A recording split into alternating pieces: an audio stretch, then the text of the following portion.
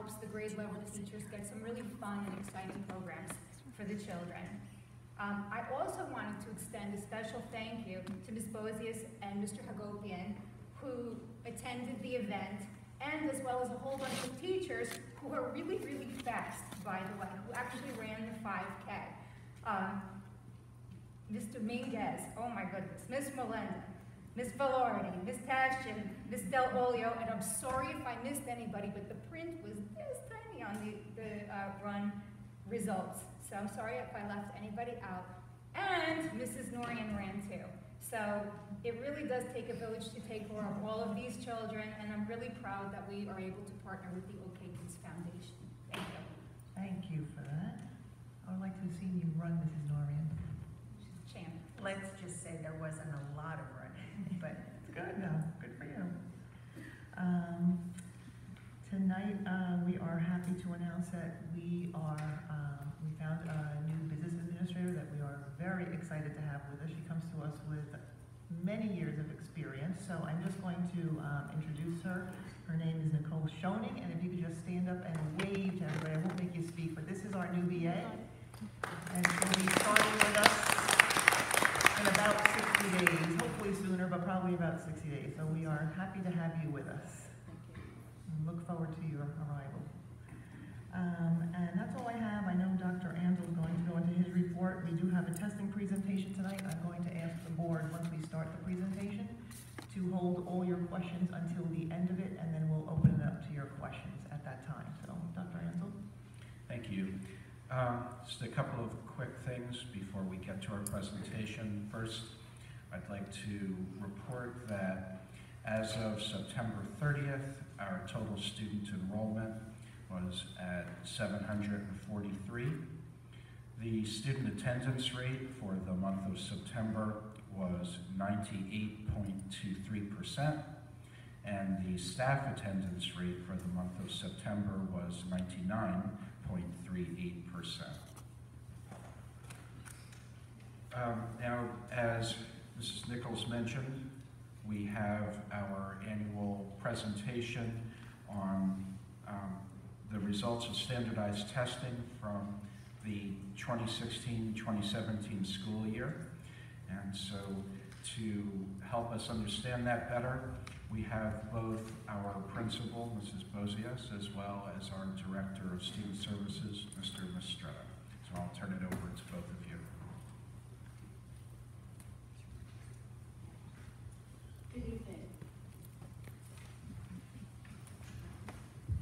Testing is a scary word because everybody hears testing and everyone says there's way too much of it. But the fact is, I would say that the testing that I did in elementary school every Friday on a spelling test wasn't very useful. But if we take testing and we don't use it as an end, we don't use it as a benchmark just of where we are, but we say, where are we going to go from here? And testing is incredibly useful if we don't make our whole life about preparing for a test, then testing is incredibly useful. So what we're going to talk about today is we are going to talk about our school performance, our district performance in relation to the state.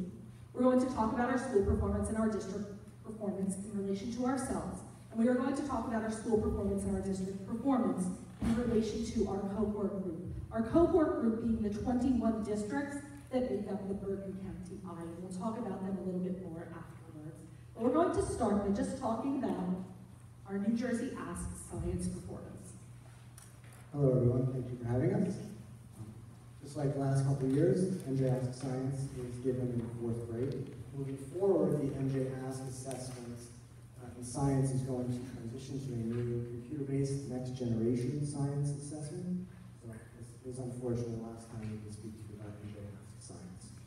Another change is that next year will be in fifth grade, and it will not be in fourth grade. So for this year, our current fifth graders will have taken a science test in fourth grade and then in fifth What you see are the similar trends over a three-year period. Nine- 92, 93, 94 above percent are proficient or advanced proficient, which is 250 to a 300. Our number of perfect scores have gone up, but, and, and so have our number of students taking it. But on average, it's about 9 to 10 percent of the students are getting the perfect score, which is that 300. You see that in our lower end, our partially proficient ends, 2.6, 1.1, and 5.8% of the students are in that low range. What's really exciting about the new test that's coming in, as we know, there is next generation science standards that we, along with every other district and state, have adopted, and also a resource that you funded to go along with those standards this year, is that the test will be computerized, which makes me think that it's going to be a little more authentic. I have a feeling it's going to include some videos and some multimedia, which will be more aligned to the type of science we want to see happening in our classrooms, which is hands-on science. It's hard to measure hands-on science with a paper assessment. So I'm glad that the state is moving forward in this area. We're going to move now to language arts performance and specifically comparing our school performance to the state. So this is uh, similar comparisons we've seen in the past. It's just the district comparison in 2017 versus the state comparison in the five performance levels. And then the column all the way to your right is the combination of the meeting expectations and the exceeding expectations. So what you see overall in the first two columns on the left is that the district percentage of students in the meeting and not and not meeting and partially meeting expectations are far below the state average. Everyone knows this is something we see every year, the testing to the students and the families of Oradell. What we see as we go to the four and five levels, the number of proficient meeting expectations, the number of proficient exceeding expectations, what we see district versus state comparison is that our district number percent of students that are proficient and are meeting and exceeding far exceed the state percentages. You can see that summarized in the column all the way to the right. Third grade is 27 points higher, fourth grade 20 points, etc. And so one of the things that we like to look at here is we just like to kind of rank. Sometimes the fact is some tests at some grade levels are easier than other tests. And if that's true, then what we're going to see is the state score is going to be higher, and then we would anticipate that our score would also be higher. So you'll notice the state, the state scored the best in the fifth grade test, as did we. For the same trends in math, you'll see that our percentages of one and two students are far below the state average, and the percentage of students in four and five are far exceeding the state average. For us, you see actually a bit of an anomaly because you see in the state, the highest passing percentage was in third grade. However, for us, the highest passing percentage was in fifth grade. So that just tells us that we might want to look a little bit more at our third grade curriculum, or we may have just a cohort difference. That cohort may have some more struggles than some of our other cohorts. So what you see now is we're moving from the state district comparison to the grade level comparisons for Oradell. This is the, what the state wants you to, to look at. They say they want you to see that your third grade in 2015, for left-hand corner, 1.2% of the students were at level one. In 2016, 5.2% of the students were at level one. 2017, 1.9% of the students. All this is summarized to the right, and those colors are hopefully helpful describing what we're trying to summarize. In this case, a negative green is good, and a positive red is not good. So what that means is that minus 6.8, that was the change in the number of level and one and two kids from 2015 to 2017. And you want to see the green there, which just means less kids are in those two levels. So on average, 6.8% of the students changing. Most district testing presentations stop at this point. And the fact is, we'd never like to stop it at this point, just comparing grade levels, because in some ways, comparing one group of students in third grade to another group of students in third grade could be like comparing apples to oranges. Um, so what we're going to move to in a moment is the cohort analysis, but when you see something that's over a 20% growth in passing, it doesn't matter to me about apples and oranges. That's a statistical growth difference. And we see that in both third grade and in fifth grade. Don't get scared now. Those arrows can be a little scary, but this is when we move to move comparing third graders to third graders, to comparing third graders to how they did on the third grade test, The next year, how did that same group of students do on the fourth grade test? The next year, how did that same group of students do on the fifth grade test? So just following along, so the upper left-hand corner, the 2015 block in grade three for the meeting, for level one, not meeting expectations. In 2015, 1.2% of students were in level one. When those same students, you know, minus the one or two kids that left and plus two or three kids that moved in, what you see is that number went down to 0% of the students were now in that level. And then when those students went into fifth grade, they continued 0% of those students.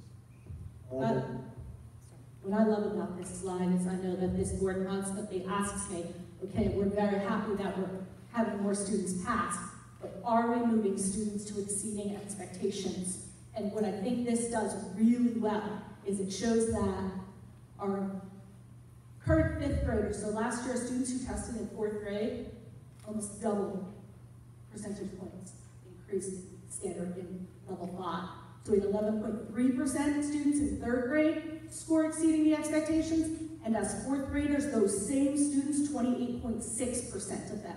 If we look at this group, who is our current seventh graders at River Dell Middle School, nineteen point one percent of them were exceeding the expectations in fourth grade, twenty-six point eight, and then we go up to thirty point four. So we love seeing that growth trend, that the same group of students is growing, and that we're not only focusing on students who aren't meeting the expectations, but that we're also making sure that our curriculum and our instructional practices are pushing our higher ability students and our higher achieving students to achieve and cover. So this is that same slide right before, just put in a linear fashion. You'll see the same trends put together. You'll see that the number of students in that one and two range is going down. And in most cases, on the right-hand side of that four and five column, the number of students are going up. I don't want you to think that we just keep showing you the same data, but um, I hate when we do a professional development presentation and the person that's teaching is asking us to do something and they're not doing it themselves. So one of the things that we tried to do in this presentation is show you the same type of data in multiple modalities. So you'll see it in a graph, but you'll also see it in a table. So this, again, we want to see a downward trend because this is the number of students who are scoring in level one or level two. So again, our current sixth graders, 14.14% of them in third grade did not meet the standards. In fourth grade, we were down to 4%, and in fifth grade, 100% of them met the standards. That doesn't mean they were exceeding, but they met the standards, and that's some really nice growth right there. This shows the other end, it shows our four, five, and this is when we want to see our graphs go up instead of going down. And we do see that trend. We specifically do see that trend with our current sixth graders. From 53% of our population scoring four and five, meeting and exceeding the standards, to 77%, all the way up to 90%. And the reason why there are only three bar graphs there is there have only been three years of PARCC testing. We have this data for every grade level as well, and these are the kind of conversations that we have with specific grade levels. We talk about what specific area or what specific concept area they exceeded standards in, and where are they a little bit lagging, where do we want to focus our instruction, where do we want to focus our professional development. So what you'll see here is this is our school one. This is taking all of our students in 2014-15 that tested, 15-16, and 16-17. And what you notice here is that where we're performing the best, the areas where most students are meeting or exceeding the expectations are actually in writing. There's a misnomer sometimes that writing is one of our weaknesses. What we're seeing is the professional development that we're putting in